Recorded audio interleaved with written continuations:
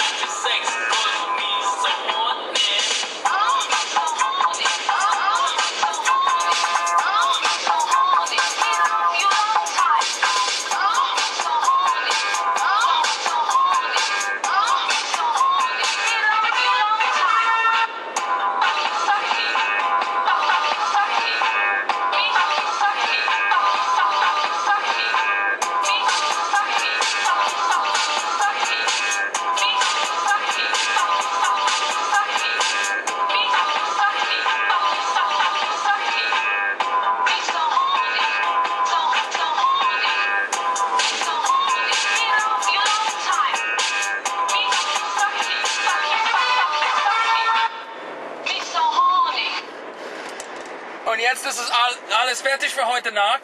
Vielleicht morgen mache ich, mache ich mehr Films für euch. Und für jetzt, es ist Erich aus Amerika. Sagt Tschüss zu meinen Fans. Tschüss.